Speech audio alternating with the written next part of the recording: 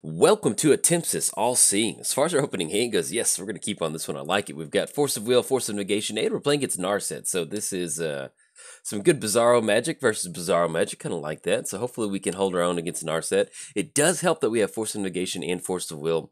Um, hopefully we can cash in another uh, blue card for Force of Will. That way we can uh, have some free counter spells. But thankfully, with Ancient Tomb and Double Islands, we'll definitely be able to get off to a really nice start uh, to this game. But yes, welcome to some Atemsis. Hope you're excited to go for some alternative win conditions.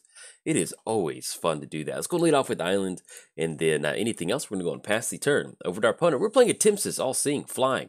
And then for a three mana activation, draw two cards, then discard a card. Uh, whenever Atemsis deals damage to an opponent, um, you may reveal your hand. If you have at least six different cards uh, with converted mana cost revealed this way, uh, that player loses the game. Do we want to go? Um, we need to go Force of Will on this one. I feel like that that might be a pretty good option just to kind of slow it down.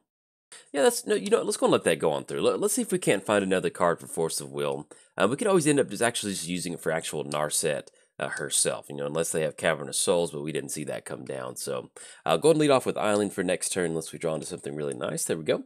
Let's go and lead off with Island, and then uh, anything else, we're going to go and pass the turn over to our opponent. Playing gets Narset Enlightened. Uh, first strike in uh, Hexproof. Then whenever uh, Narset attacks, uh, exile the top four cards of your library. Until end of turn, you may cast Boros Signet, sure, that'll work. Until end of turn, you may cast those cards without paying their mana cost. So, uh, if you haven't had the uh, the pleasure of playing its Narset before, it's it's pretty gnarly. Not a ton of fun sometimes. And uh, hopefully we can we can survive this one. All right, let's go and go Ancient Tomb. That's going to put us on for, you know, maybe engulf the shore if they give Narset haste somehow. Uh, that's going to allow us to go for Fact or Fiction. And now we're actually getting to the point to where we can just cast Force of Negation, um, or actually just cast Force of Will if they end up going for Narset. They do get to one more mana. They are sitting at five total mana. But uh, hopefully uh, this will allow us to get some good stuff going. Preordained, sure, go for it. Uh, but yeah, as far as the Timsis goes, really excited about this commander. In fact, let's go and give a shout out to our sponsors, and I'll jump into kind of covering what the deck is trying to do. Um, shout out to MTGO Traders. If you need to build your very own Timsis alternative win condition deck, uh, they certainly get you covered whatever, for whatever sort of converted mana cost cards you may need. And also, shout out to inkedgaming.com. You can use coupon code JOLT to get 10% off your order. And you'll see you're in the market for a custom playmat. And last but not least, I started a Patreon. So if you'd like to contribute to the Patreon, uh, there's a link down in the description below. Get your name at the beginning or the ending of the credits. And if you can't do that, hey, no problem. Just tell somebody about the channel. So opponent's going to go for Swan Song. Yeah, I feel that's fine. That's going to give us a 2-2 bird. That's going to give us a Frankie token. And we can start swinging in our opponent. I think I kind of like that. That's going to give us a 15-turn clock to uh, start getting them. So yeah, that'll work. So let's go Island. Uh, let's go Bird token.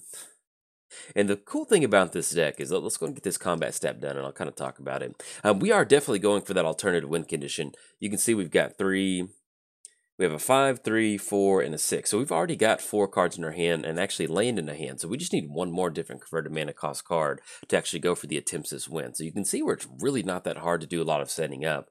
And one of the ways that you can really ensure that you can potentially get that win is by uh, running a lot of card draw. You know, stuff like Force of Will, I mean, Force of Negation, or excuse me, fact or fiction. Uh, this is, hey, this is a Good Morning Vietnam video. In fact, it's the first one of the morning. So if I make a little mistake or my voice is a little raspy, I do apologize, but we're jumping into it because uh, I'm really excited about Timsis. But, uh, but yeah, one of the ways you can get around it is by drawing some, uh, drawing a lot of cards. So we've got Alhammarret's Archive in here. Um, we have a lot of mana rocks in here too. That way we can go for one of those really nice like Pull from Tomorrow or Stroke of Genius. And so that's just a really good option for us to just really fuel our hand and then uh, go from there. So let's go and push in with this bird token. Frankie's going to be coming in hot. And I don't really remember Frankie being a owl looking bird from Swan Song. I always thought it was like kind of like a looking like the art on Swan Song. So anyway, we've got an owl on that. That's pretty cool. Let's go knock our opponent down to 24. And uh, let's make sure we make the land drop for the turn. I think at this point, so we have no devotion, uh, we'll just end up going for island. Now we can end up going for Atemsis. as That's going to be six total mana, and that still keeps us on for force of will. So you know, let's go and go for it. Yeah, I think we're fine with that. Uh, going to be one, two, three, four, and get down for six. Now, if they do end up having some sort of spot removal or uh, counter spell for Atemsis, yeah, that's fine. I will go and let this go through. And if they're just going for Mystical Tutor, that'll work. Because we've still got Force of Will to kind of stop whatever they're going to try to push. Okay, opponent's going to go for Supreme Verdict. And unfortunately, with Supreme Verdict, uh, that is definitely uh, not gonna we're gonna be able to counter that. Can't be countered. So that's gonna catch us off But with Crush of uh, Tentacles, uh, we can certainly get that six man. Even if we just want to go for a tempo play, we can send everything back to their hand. Or if we get to the point where we can go for the Surge option, um, we can make an 8 8 token, and that'll be uh, really nice. Now, we can't counter this spell, so that's going to get rid of Frankie. Unfortunately, we had a really nice Air Force going, uh, but that is going to get rid of it. So it's going to kick it back over. But we've got some land drops to make, and that is uh, definitely not the end of the world. You can definitely see there's a very nice theme of just bouncing stuff back. Just really want to make this a nice tempo deck. Um, let's go Command Beacon. We're going to go for Atemsis again. Yeah, let's do that. I think I kind of like that. All right, so we're going to put Atemsis into our hand, and that's going to allow to get uh, Timsis down, and then hopefully we can uh, kind of threaten a win. It's going to be one, two, three, four, five, six. That'll feel pretty good. All right, we'll get Atemsis down, and then uh, we're going to go and pass the turn over to our opponent. So whenever we do swing in, we've got five, three, four, six, and then another four, and then a zero. So we do have five out of the six for Atemsis. So if we get lucky next turn, let's say we draw to one of our cantrips, uh, Elixir of Immortality, Ponder, Preordained, something like that. Or if you only draw to one of our two drops, we've got Anticipate, Arcane Denial, Cyclonic Rift. Um, if they don't have an answer for Atemsis, we might be able to close it out against Narset, and that will uh, that'll feel really nice. Okay, opponent's gonna go Path to Exile on Atemsis. And that does, yeah, let's go and go Force of Will. Force of Will on Path to Exile, because that's going to be one, two, three, four, five. Well, actually, they don't have haste for Narset, so we can always bounce Narset back to the hand. But that does get rid of the counter option for Narset. You know what, let's just go and let this go on through. I think that's fine. We get another island down, we can get down Nykthos, and then it'll still put us in the same spot where we can recast Atemsis, because we actually just brought Atemsis out of the command zone, so uh, we can definitely live with that. One of the main things is we want to keep Narset off the battlefield, and if we can go for something like Crush and send all of these artifacts back to their hand, um, that's going to give us a really nice tempo play to kind of reset. So um, if anything, we'll probably end up going for Crush of Tentacles next turn. I think that'll be pretty good. All right, so Swiftfoot Boots. Let's go Shrine down. Now if we go Boots, yeah, that's going to be just enough for the Surge cost. And I like that. So yeah, let's do that. So let's go 1-2 off of Ancient Tomb. We're going to have Swiftfoot Boots enter the battlefield. We're going to go Crush of Tentacles. Cast off the Surge option.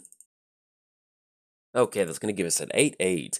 And then uh, anything else, we're going to go and pass the turn to our opponent. Now, we did, uh, unfortunately, get Swiftfoot Boots back to our hand.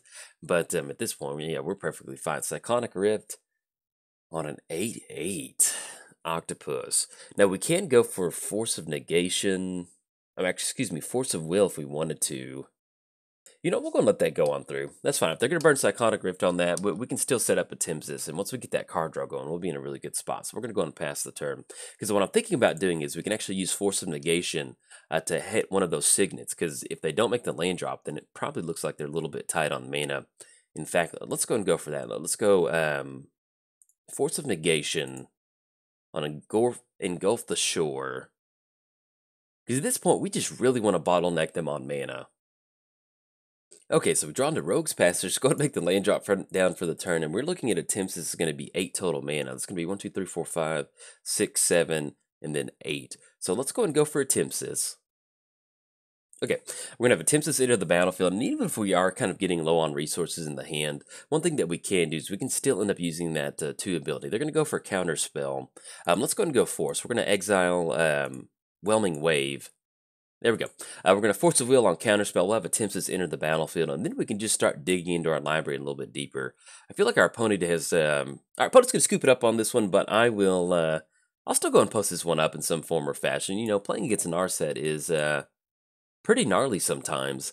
And so the game wasn't over yet, but if our opponent's going to scoop it up on this one, especially against Narset, uh, we're going to toss this one up as a win. So uh, this is pretty much what this deck wants to do. You know, Timsis is kind of a tempo style deck. We're going to send stuff back to our opponent's hand and then uh, just counter different things like that. So and then once we get Atemsis down, if they are low on resources, we basically just go for the three mana ability, start drawing some cards, and then hopefully that'll get us to a point where we can close it out with Timsis. But it's always nice to wrestle down Tarsa, uh, Narset and get the win. So, anyways, if you enjoyed the video, like and subscribe. Thanks. Bye. Welcome to a All Seeing. As far as our opening hand goes, yes, I like it. We're going to keep on this one. We've got to study.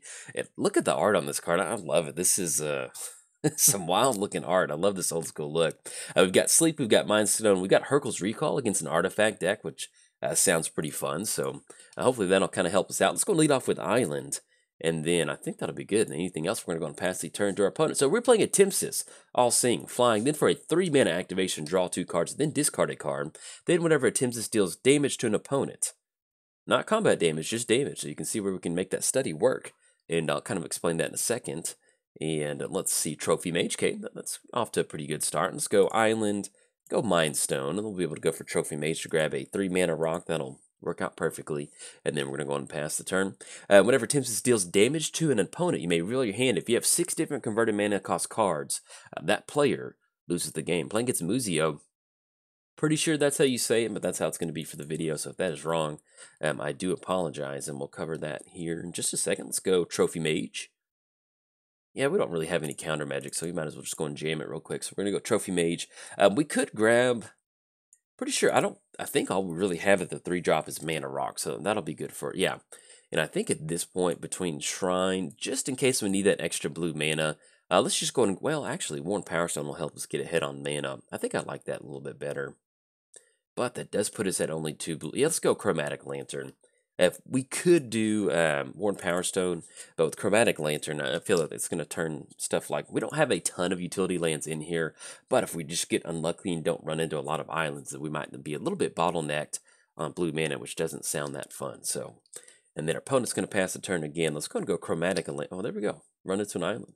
Uh, so let's go Island. Let's go Chromatic Lantern. And they're going to go for negate, counter target creature. Yeah, that's fine. Uh, we can still end up, that's going to put us at 5 mana. If we hit the land drop next turn, that'll allow us to go for uh, a Tim's. So that, that, won't be the end of the world. So let's go and push in with a Trophy Mage. Just going to put them down to 28.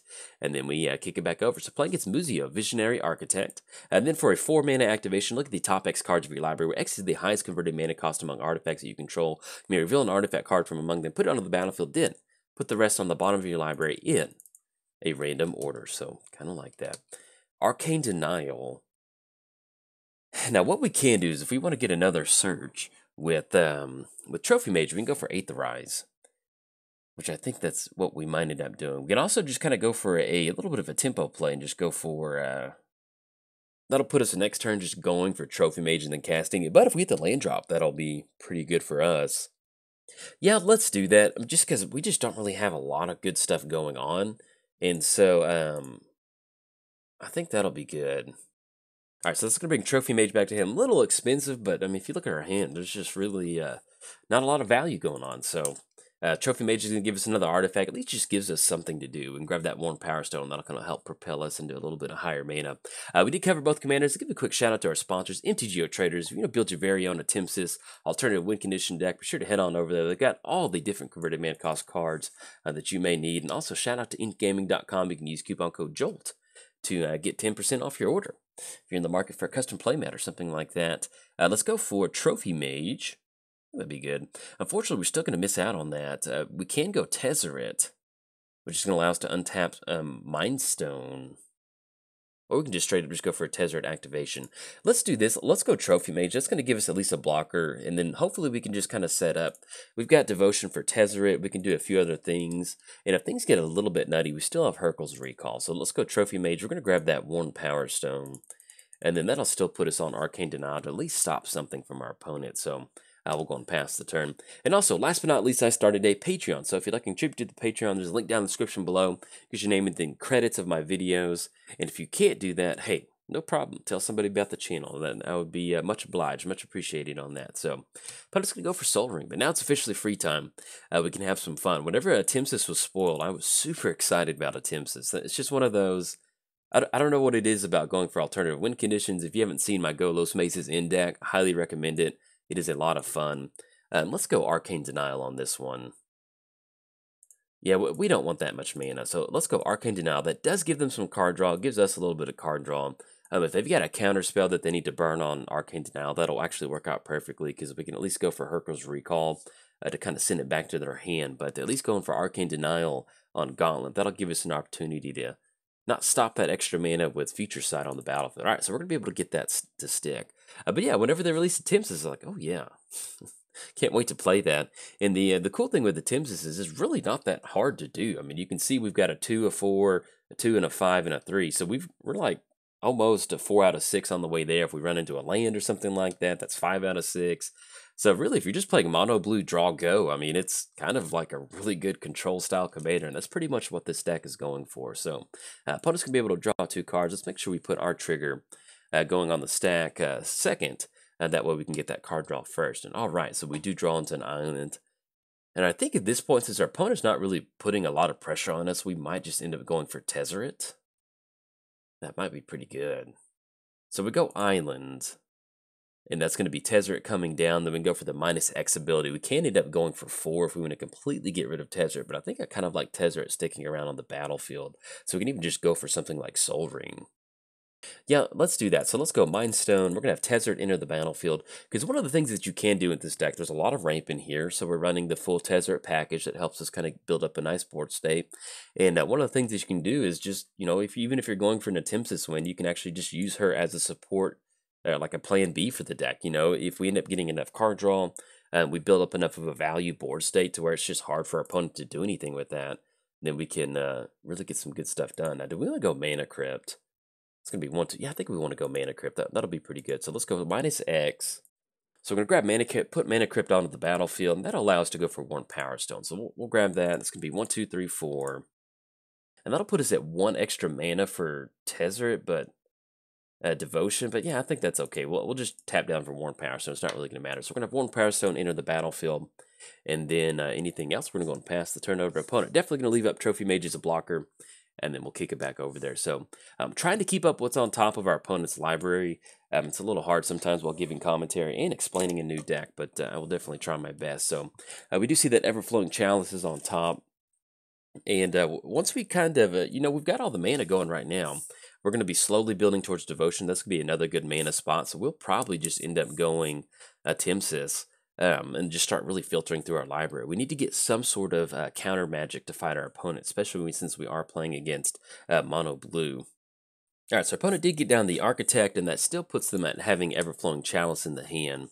Um, and this is a, it's not an artifact creature, so we can't bounce it back with Hurkyl's Recall. But if they do end up, you know, here's the downside. We've got Hurkyl's Recall.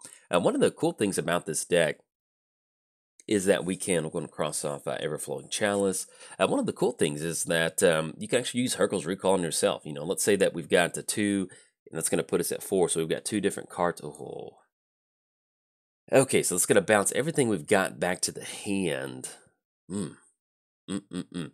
Okay, so that will end up going for that. Uh, we can still kind of rebound and end up going for it's not that huge of a setback. We can end up going Mind Stone, Mana Crypt, and if we want to, we can actually just go for Hurkyl's Recall, and it's going to bounce the Everflowing Chalice. So that'll kind of basically be like the reset for the turn. Um, not the end of the world. I mean, thankfully, this is, uh, it's like not during our where we have to discard everything, so we'll definitely take that. So let's see what we draw into, then I'll kind of talk about some of the little strategy parts I was about to talk about. So we, ooh, there we go. We've got our very own cyclonic rift. So that's going to put us at four, five, uh, six, seven. Yeah, let's just go for it. Uh, that's going to be Mana Crypt. We're going to have Mana Crypt enter the battlefield. We're going to have the land drop. That's going to put us at five, six, seven, eight. We can go for Mind Stone. Oh, yeah, th this is beautiful. I love it. Uh, we're going to go Cyclonic Rift Overloaded. All right, so we're going to send everything back. They control back to their hand, and uh, this is very fitting. I like it. So hopefully we can bounce back a little bit quicker than this. Uh, oh, look at that. All right, I like that. Uh, anything else, we're going to go and pass the turn back over to our opponent. So we can go Tezzeret the Seeker next turn. Um, we'll see exactly what we're going to grab. Probably just end up grabbing uh, Archive. So that's going to put us on going for the plus one with Tezzeret, because once we get down Archive, um, Alhammarret's Archive, that's going to allow us to draw an extra card um, once we draw past our first card for the turn. So imagine that we go for the activation off of Timsis, um, draw two cards, it's going to be four cards, then discard a card. That's really going to allow us to fuel up. Um, another option that we can go for off of Tezzeret is if we want to end up going Lightning Greaves, um, that's going to give us a really hasty option that we can try to swing in and get that win condition. But um, as long as we can just get the card draw going, uh, that's really going to allow us to kind of fuel the hand. Now, as far as building an Atemsis deck, you don't really have to go that crazy with the Atemsis. Um, it's one of those decks that it's just like, you know, just do what you normally do in a mono blue control deck. You know, things like Trophy Mage. It's a really good option to find a mana rock. Um, going to help you out getting down if you're, you know, uh, Timsis is six mana, so you're probably going to need some amount of mana rock. So simply just having like Tezzeret built in here, that kind of helps fill in some of those weird spots. You've got some surge costs you can put in here. You've got converted mana cost things you can do. Um, it just works out really well that you can do a lot of really good things. Uh, with the actual deck. Now, what we may end up doing is we may end up going for sleep next turn. That's going to completely cut off our opponent off any sort of activations uh, with stuff like Metal Worker. So we'll probably end up going for that, um, just as a little bit of a tempo play. Uh, but let's see what they end up doing for the rest of the turn. Okay, they're going to make a Metal Worker a blue creature. Ooh, and they're going to go for Paradox Engine. Now, here's the deal. So I am playing one versus one commander. Um, that's why we're starting out at 30 life. And in one versus one commander, um, Paradox Engine was not banned during the last update. So um, that is why Paradox Engine is still legal uh, right now. This is a current video, but um, that's why Paradox Engine is popping up in one versus one commander. it's not a lot of fun and it's, uh, it's a little brutal. You know, it's kind of one of those things where some of these cards, like when Paradox Engine gets banned in multiplayer commander, uh, that makes sense. Paradox Engine, it's kind of one of those cards that the longer it sticks around, um, it's just it just it's colorless. It's five mana and it does a really really strong effect. It just enables some really busted things sometimes. You can see what our opponent's doing by just generating a ton of mana uh, with Metal Worker, uh, Metal Worker, and Grand Architect. And so, but anyway, it's unbanned in one versus one commander. I don't know if it ever will be banned in one versus one, so we'll kind of see what's going on. But at this point right now, they draw the Memnarch. I want to let them kind of work through some of the mechanics of this. I don't, I don't know if they actually have a combo right now, but I'm going to let them do this, and then we'll, we'll kind of stop and see what's going on. Okay, and excuse me, yeah, they don't have the combo. They just simply just get down to Memnarch. Now, what we need to do is we need to find an answer for Paradox Engine because that is not going to be good. Not going to be good for us. We can buy us a little bit of time with Hurkyl's Recall. Uh, let's go and choose Tails on this Mana Crypt trigger. One the flip, we are one for one on those Mana Crypt triggers. And then let's see, run into oh, run into Mana Drain. That is a very good way to stop Paradox Engine. Uh, beautiful draw. I'll take that. So we've got uh, one, two, three, four, five, six uh, 7 8. We have 9 total mana. We need to leave up at least 4 mana for Hurkyl's Recall. You know what? Since they're going to get off to a pretty good start, if we just end up going. I think I like this. So we're going to go sleep. We're going to tap our opponent's creatures. That way they don't get the Metal Worker, they don't get Grand Architect, because they have to tap an untapped blue creature to really take advantage of this. We're going to go for sleep. Um, let's go for Hurkyl's Recall. And the main thing that we want to stop right now, we definitely want to deal with Memnarch, but if we can just deal with Paradox Engine, uh, that'll be a really good option for us. So we're going to go for uh, Hurkyl's Recall. That's going to send everything back to their hand, and we're still going to leave up mana drain. So we're just simply just going to go and pass the turn over to our opponent. This has been a, uh, a very good mono blue matchup. a lot of back and forth. We had back to back cyclonic rifts. We're uh, blowing each other's board states up. Opponents threatening some really nasty stuff with Paradox Engine. And so uh, we're off to a pretty good little start right here. I'm kind of digging this. And uh, we'll see what else they get down for the turn, but we'll probably try to do is end up going for Tezzeret, because the longer our opponent sticks around on the battlefield, the, the, worse it is for us. So we might end up just going at Tempest uh, just to get some sort of clock on our opponent. Um, if anything, just simply just threatening that draw two cards and discard a card abilities is a good thing for us. Uh, Future Sight, as much as we don't like that, that's perfectly fine. The big payoff card that we need to watch out for is um, going to be Paradox Engine. That, that's just going to be really hard for us to beat in this mono blue deck, especially with us already going for Cyclonic Rift and Hurkyl's Recall. That, that's just not going to be a lot of fun. Okay, they will end up going for Metal Worker. Yeah, because even if we just go mana drain on that, as much as that can generate some mana, our main issue at this point right now is the Grand Architect. So, um, yeah, we'll simply just go and let's go and pass it back over to our turns. Let's go Mana Crypt. We're going to go and choose Tails on this Mana Crypt trigger. There we go, two for two on those Mana Crypt triggers. And uh, we draw into another island. So let's go island. That's going to put us at 6, 7, 8, 9, 10. That's going to put us at 10 total mana. So we can end up going for Atemsis.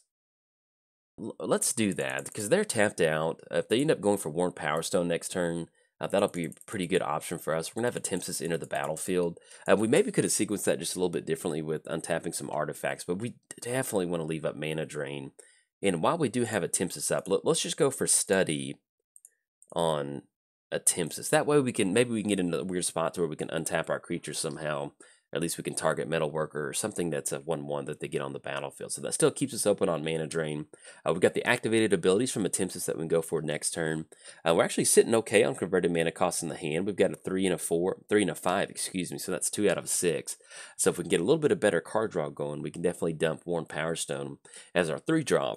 And then we could slowly start working towards uh, getting a few extra cards in our hand. But for the most part, we're definitely going to be using this mana drain uh, for that Paradox Engine. If they've got counter magic in their hand, so be it. Um, but we have to force this mana drain. And uh, what? Uh, oh, excuse me. They just went for the uh, reveal off of Metalworker. So you can see where we're really getting to the nitty gritty part uh, right now with how good of a deck like this can be, especially with Grand Architect and Metalworker on the battlefield. Okay, so let's go ahead and go for this mana drain on Paradox Engine. That's going to be double blue. And like I said, if they've got counter magic. They did reveal most of their hand, and I think that's going to be most of it. Now, we did see Consecrated Sphinx. If that does happen, that's going to be very rough for us. Um, that'll give us a little bit extra mana, but that's going to allow them to swing in. Yeah, we'll see. Let's see what they end up rolling out for the turn. Okay, so they're going to get down Memnarch, which is going to I think do they have enough mana? They're going to go for the activated ability. Yeah, they. I think unfortunately they do have enough mana to go for the three mana and four because they've got seven total mana. So they can't turn Atemsis into an artifact and gain control of it, which is. Uh, maybe we shouldn't have gone for Atemsis, but at this point right now, I, I think that's since we have no card draw in the hand, Tezzeret grabbing an artifact is nice, but that doesn't do much. Um, at this point, I, I think it's just an uphill battle either way with them being able to generate that much mana. Okay, and our opponent, uh, they got off to a pretty good, they had a pretty good turn last turn. I think they went for Mindslaver. Um, that's going to take control of our turn. They did end up gaining control of Atemsis. Uh, maybe I could have seen that play and not gotten down Atemsis. Um, that might have been better for us to not let them steal it with Memnarch.